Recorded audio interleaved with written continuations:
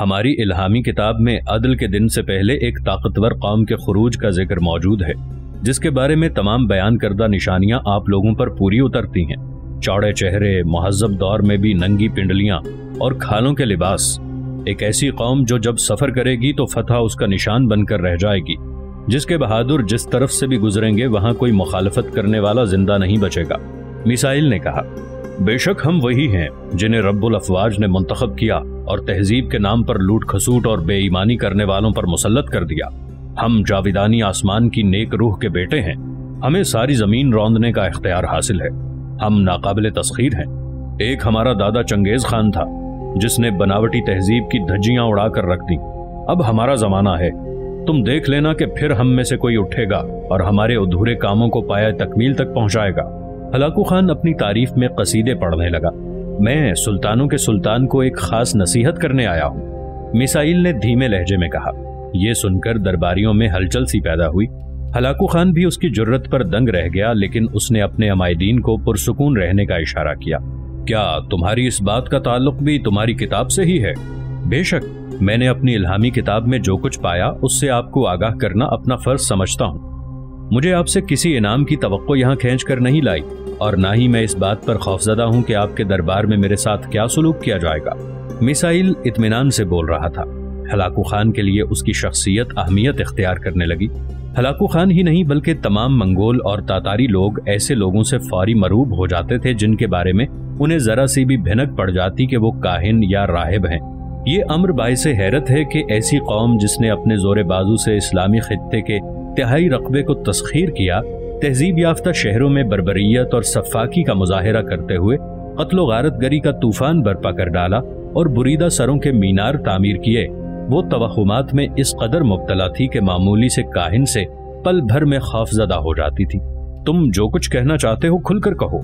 अगर वो बात हमारे खिलाफ होगी तो भी हम इसे तहमुल से सुनेंगे। हलाकू खान ने नरमी से कहा सुल्तानों के सुल्तान को मैं मुतनबे करता हूँ कि हमारी इल्हामी किताब में दर्ज है। जब वो कौम अर्ज़ मुक़दस में दाखिल हो जाएगी तो उस पर लाजिम है कि वो उस वक्त तक यहाँ क्याम करे, जब तक रब्बिल यहूद का फरमान न आ जाए। अगर वो सब्र तहमुल से क्याम करेगी तो उसके लिए एक नई मंजिल और नई इज़्ज़त होगी। अगर वो हुक्म के बरखिलाफ अपनी मनमानी पर आमादा रही तो उसके लिए जिल्लत का मुकाम है।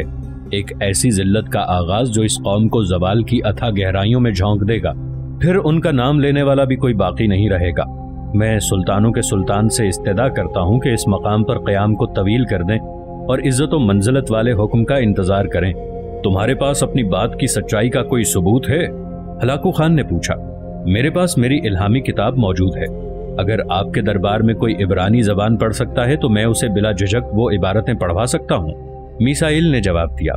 क्या मेरे दरबार में कोई इबरानी समझने वाला मौजूद है? हलाकू खान अपने अमायदीन से दरियाफ्त करने लगा।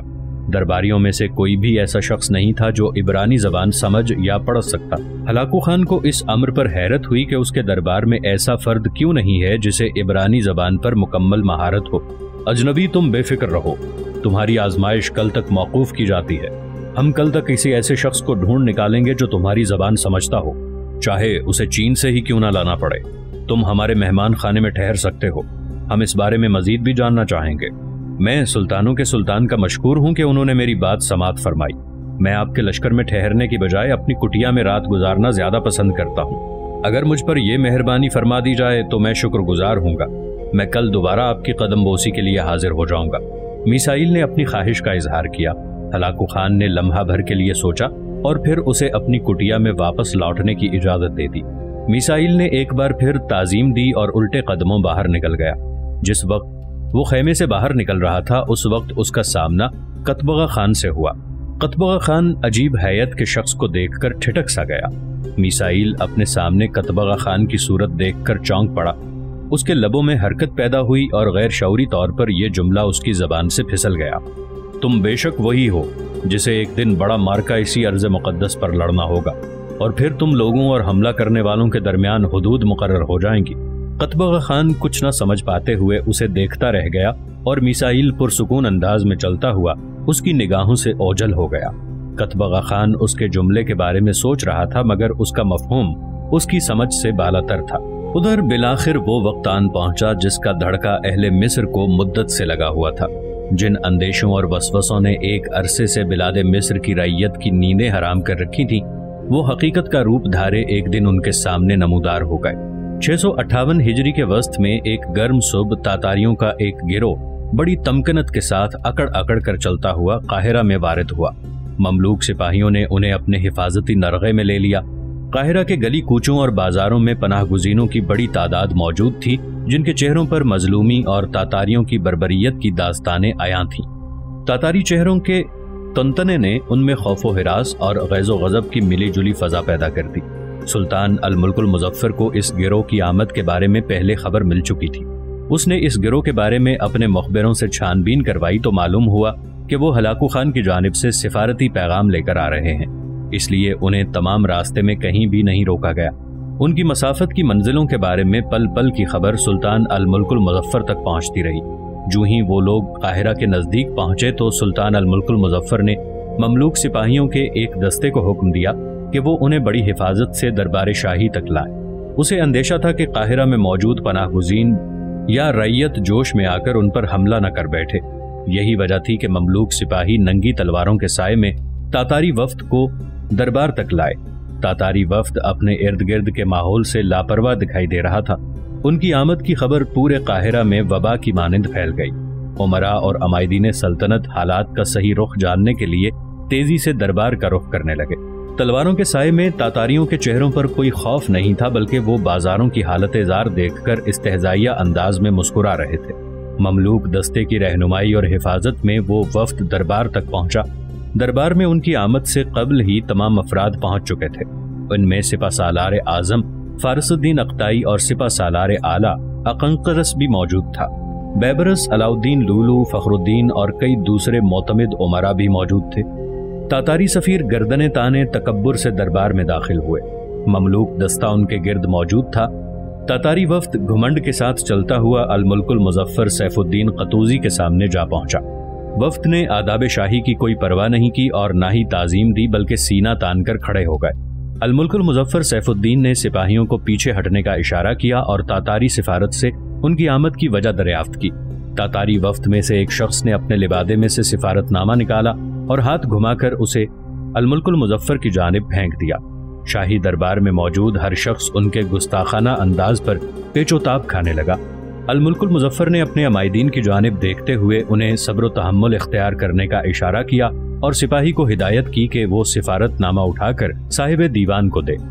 साहिब दीवान ने सिफारती खत लेकर खोला और तहरीर पर निगाह डाली और परेशान निगाहों से सुल्तान अलमुल्कुल मुजफ्फर की जानब देखा। सुल्तान अलमुल्कुल मुजफ्फर ने उसे पढ़ने का हुक्म दिया तो वो तहरीर पढ़ने लगा।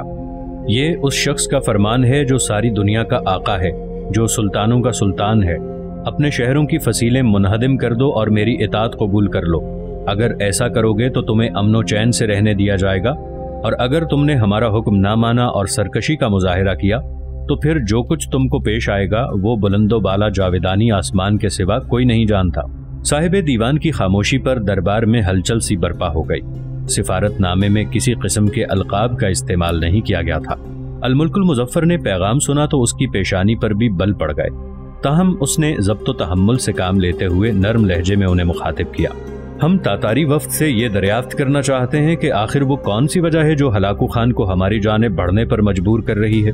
हालाँकि हमारी सल्तनत उसकी सल्तनत से बहुत दूर है। हमने कभी उसकी जानब नज़र उठाकर नहीं देखा और ना ही हमारी जानब से तातारियों के खिलाफ कोई अमल वकू पजीर हुआ है।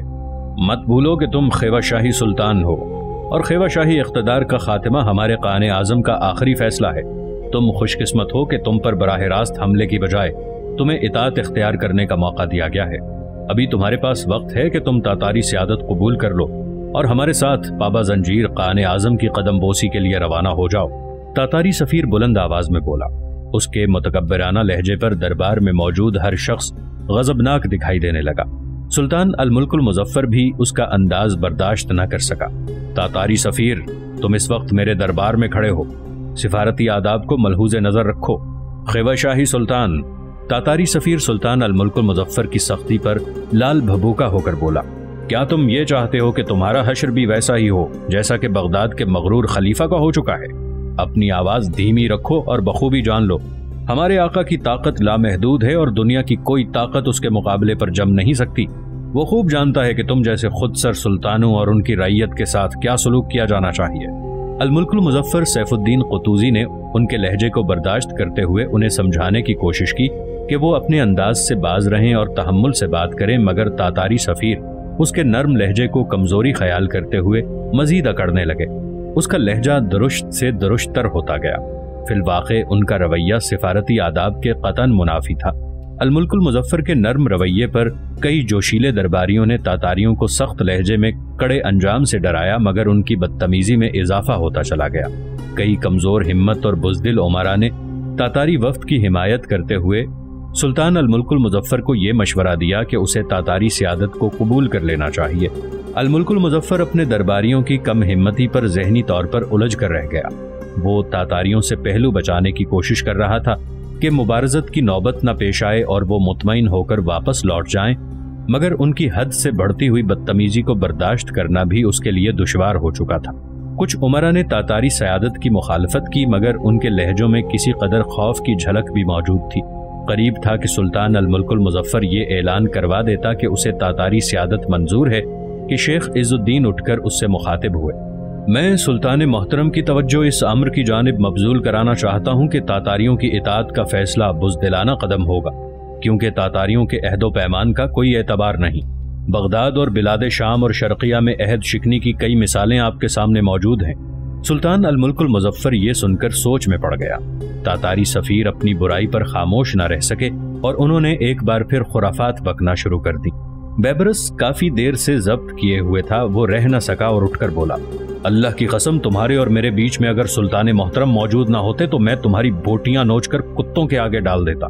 मैं अपने सुल्तान से भरपूर इस्तेदा करूँगा कि वो अपने इस खादिम पर भरोसा करें और हुक्म इनायत करें कि मैं इन्हें वो सबक अजबर करा दूँ, जिससे ये नावाकिफ हैं। सुल्तान मोहतरम, बिलाद मिस्र मुसलमानों की आखिरी उम्मीद है। आप गुजशत वक्त में मुसलमानों के लिए कुछ नहीं कर सके तो अब इन्हें तातारियों पर एतमाद की नज़र न कीजिए। अपने अल्लाह पर यकीन महकम रखें। आपके वफादार सिपाहियों में इतना दम मौजूद है कि वो इन बद तहजीब तातारियों को ऐसा कड़ा सबक सिखाएँ कि वो भूले से मिस्र का रुख न करें। बेबरस की पुरजोश तकरीर पर फारसुद्दीन अख्ताई ने आगे बढ़कर उसकी हिमायत की। सुल्तान मोहतरम, बेबरस की राय बिल्कुल मौजू और दुरुस्त है। अब वो वक्त आ गया है कि हमें तातारियों पर यह साबित करना होगा कि इनकी मनमानी अब नहीं चल सकती। सुल्तान अलमुल्कुल मुजफ्फर उनकी गुफ्तगु सुनकर मुतमिन दिखाई देने लगा।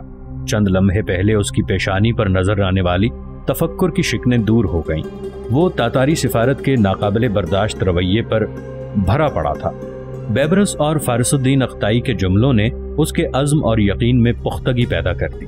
वो तय कर चुका था कि मौत तो एक दिन आनी ही है तो फिर क्यों न जिल्लत की ज़िंदगी जीने की बजाय इज़्ज़त की मौत को कबूल किया जाए। कुछ लम्हों के तवक्फ के बाद उसने सख्त तरीन लहजे में हुक्म दिया। इन बदतमीज और मगरूर तातारियों को फ़ौरन गिरफ़्तार कर लिया जाए और इनकी जबानें गुद्दी से खींच ली जाएँ और इनके सर कलम करके हलाकू खान को रवाना कर दिए जाएँ ताकि उसे मालूम हो जाए कि सुल्तान अल मुल्कुल मुजफ्फर का जवाब क्या है। सुल्तान अल मुल्कुल मुजफ्फर के मुँह से जुमलों का निकलना था कि ममलूक सिपाही उन पर झपट पड़े। तातारी वफ्त के अरकान इतने हैरान थे कि अपने मुदाफियत के लिए उंगली भी ना हिला पाए। आनन फानन शोरीदा सर सफीरों को खाको खून में लौटा दिया गया। दरबार शाही में ही उनके सरों को जिस्मों से जुदा कर दिया गया। इन तातारियों के जिस्मों को बड़े बड़े चौराहों पर लटका दिया जाए, ताकि रैयत में फैला हुआ खौफ और हिरास दूर हो सके। सुल्तान अल मुल्कुल मुजफ्फर ने दूसरा हुक्म दिया। कुछ ही देर में सिपाही उन तातारियों के सरों और लाशों को घसीटते हुए बाहर ले गए।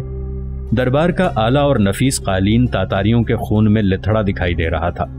फारसुद्दीन अख्ताई और बेबरस के चेहरे पर मुसरत के आसार झलक रहे थे, जबकि कमज़ोर हिम्मत उमरा के चेहरे सफ़ेद थे। अलमुल्कुल मुजफ्फर ने तातारी सिफारत को कत्ल करके एक बार फिर तारीख को दोहरा दिया था। उसके नाना अलाउद्दीन मोहम्मद तकश शाह ख्वारजम ने चंगेज खान की सिफारत को कत्ल करके अपनी पूरी सल्तनत तबाह बर्बाद कर डाली थी और अब उसके नवासे सैफुद्दीन कतूजी ने भी इसी अमल का इरतकाब किया था। बिलाद मिस्र ने हलाकू खान के खिलाफ ऐलान जंग कर दिया था। हलाकू खान अरसे से ऐसे ही बहाने का मुंतजर था कि उसे बिलाद मिस्र पर चढ़ाई का कोई वाज जवाज मिल सके। तातारी सिफारत के बुरीदा सरों की सूरत में जवाज उसके पास रवाना हो चुका था। उधर मंगोलों के एल खानी कान आज़म मंगो खान को जब उर्दू जर्री के हुक्मरान बिरकई खान की जानब से मुकम्मल इतमान हो गया तो उसने चीन पर लश्कर कशी की तैयारियाँ जोरों शोर से शुरू कर दी। वो अपने दादा चंगेज खान के अधूरे ख्वाब को शर्मिंदा ताबीर करना चाहता था, जिसकी हसरत चंगेज खान अपने दिल में ही लिए, इस दुनिया फानी से रुखसत हो गया था। एल खानी सल्तनत के वफादार मंगोलों पर मंगो खान के इरादों का उकदा खुला तो उन्होंने बड़ी शद्दोमत से उसे समझाने की कोशिश की कि चीन पर हमले के लिए ये मौसम साजगार नहीं है और दूसरा मंगोलों को चीन के बारे में भूले से भी नहीं सोचना चाहिए, क्योंकि चीन पर यलगार की सूरत में हमेशा उन्हें हजीमत उठाना पड़ी है। तातारी काहिनों ने भी चीन की सरजमीन को मंगोलों के लिए मनहूस करार दिया है। मंगो खान के मुसलमान रफका ने ऐसी बातों को तवाहमात करार देते हुए उसकी हौसला अफजाई में कोई कसर उठा न रखी। नसरानी रफका भी मुसलमानों की सबकत को बर्दाश्त न कर सके और उन्होंने सिर्फ़ इस ख्याल के पेश नज़र मुसलमानों के मौकफ की हिमायत की कि कहीं इख्तलाफ की सूरत में वो कान आज़म को नाराज़ न कर बैठें और उनका दस्त शफकत इताब की सूरत न इख्तियार कर ले। गैर मंगोल रफका की अक्सरियत की हिमायत पाकर मंगो खान का हौसला बुलंद हो गया। मंगोल और तातारी रफका ने अपने हाकिम की इतात के पेश नज़र खामोशी इख्तियार कर ली। मंगो खान के लिए चीन की मुहिम बड़ी अहमियत की हामिल थी। वो कुछ अरसा पहले भी मुख्तलिफ़ सिपा सालारों को उस जानब भेज चुका था। वो चीन के दो चार शहरों पर कब्जा कर चुके थे, मगर उनका कब्जा देरपा साबित नहीं हुआ और चीनी लश्करों की आमद पर उन्हें वहाँ से पसपाई अख्तियार करना पड़ी। ताजुब का मुकाम है कि चीनी लश्करों की तादाद मंगोलों के मुकाबले में कभी भी ज़्यादा नहीं रही थी। वो अपनी बुलंद हिम्मत और जज्बा हब्बुल वतनी से मामूर, मैदान में उतरते और ताकतवर मंगोलों को पसपाई अख्तियार करने पर मजबूर कर देते। चंगेज खान की ज़िंदगी में ही ये सिलसिला शुरू हो चुका था जो कि वक्फे वक्फे से जारी रहा। मंगो खान के अहद तक मंगोल इसमें कामयाब नहीं हो सके, जबकि सल्तनत इस्लामिया जो कि चीन के मुकाबले में कहीं ज़्यादा वसी वारीज थी और यहाँ चीन की नस्बत हर शय की फरावानी थी, नामवर सिपा सालार मौजूद थे अस्करी साजो सामान और लश्करों से भी कोई कमी नहीं थी, फिर भी वो मंगोलों के सामने रेत की दीवार साबित हुए। पचास बरस की मुद्दत में मंगोलों ने सल्तनत इस्लामिया को पारा पारा करके तबाह बर्बाद कर दिया। मंगोलों की फतेहयाबी में सिर्फ़ उनकी बड़ी तादाद और बहादुरी को ही दखल नहीं था, बल्कि उनकी कामयाबी के पीछे मुसलमान गद्दारों की साजिशों और जज्बा अखुवत ईमान से खाली सुल्तानों का हाथ भी था, जो अपने ही भाइयों की सल्तनतों की जानब हमेशा हरीस निगाहों से देखते रहते थे और उन पर दस्तरस पाने के लिए तमाम तर ताकत सर्फ कर दिया करते। मिलत इस्लामिया में से खलूस, इंसानियत और हमदर्दी के असबाक मिट चुके थे। नई नस्ल को रक्सो सरूद की महाफिल की आदत पड़ चुकी थी। नबीज को हलाल करार देकर नशे मस्ती का सामान पैदा कर लिया गया था। बेरहरवी इस हद तक बढ़ चुकी थी कि उमरा और शुरफा की खातन दिन दिहाड़े गैरों के बिस्तर गर्म किया करती थी। नौजवान सिपाही बनने की बजाय गवैये और शायर बनकर शाही दरबारों में रसाई हासिल किया करते और अपने फन का मुजाहरा करके दाद हासिल करते और इनाम कराम पाते। उमरा और अमायदीन सल्तनत एक दूसरे की बेखुनी में मसरूफ रहते।